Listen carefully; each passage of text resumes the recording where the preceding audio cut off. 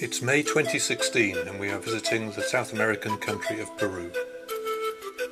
One of the top railway journeys in the world is the Andean Explorer, which will take us from Puno on the shores of Lake Titicaca to Cusco where we overnight before taking a shorter rail journey to Agua Calientes, the gateway to the famous Machu Picchu. Lake Titicaca at 3,800 metres or 12,500 feet is the highest navigable lake in the world.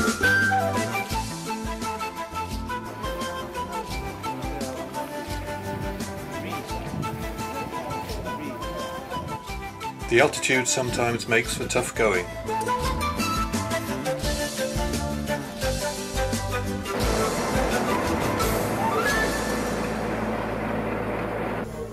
It's an early start at Puno station the following morning to catch the 10 and a half hour Andean Explorer service to Cusco. Oh, oh you have fried? Yes, sir. Huevos fritos. Fried. Yeah, fried, fine. Yes. Hmm.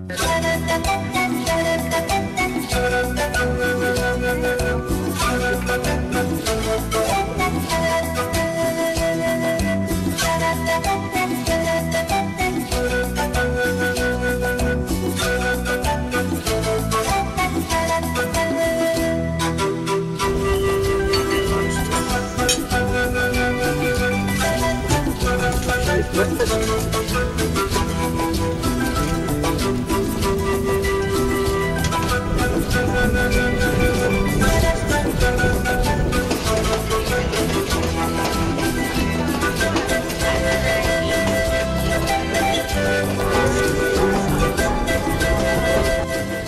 service is standard, although the prices are as eye-watering as the views.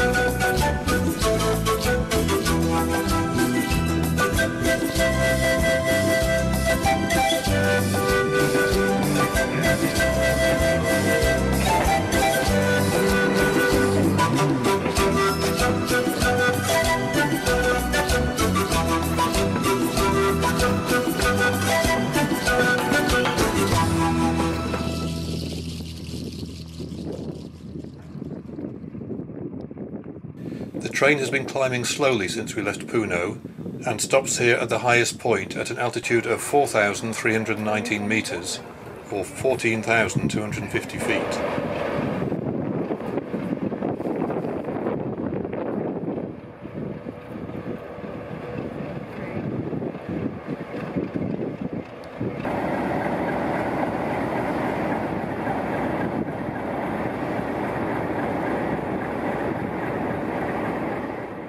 Here we have the opportunity to purchase souvenirs.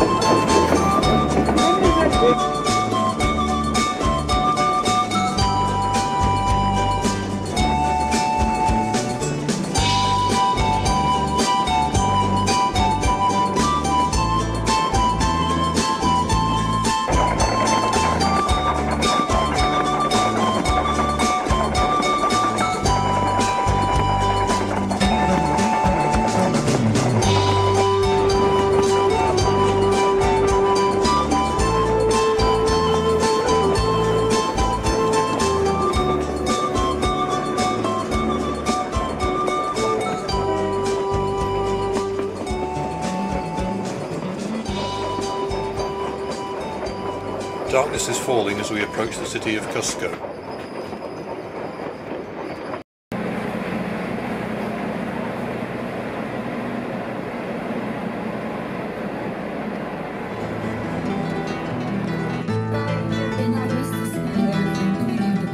Back on the train now for the relatively short two hour journey through some stunning scenery to Agua Calientes.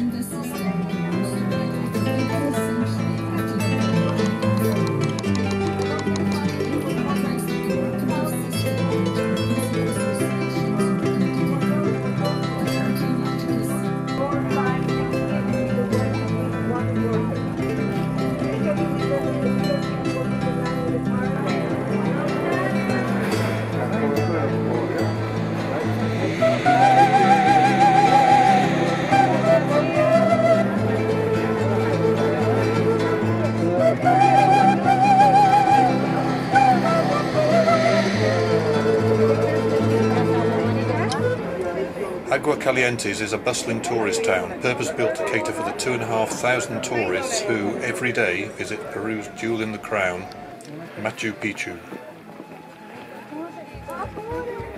For many visitors to Peru, a visit to the Inca city of Machu Picchu is a long-anticipated high point of their trip. In a spectacular location, it's the best known archaeological site on the continent. This ancient city only survived because it was never discovered by the conquering Spaniards and was virtually forgotten until the early part of the 20th century.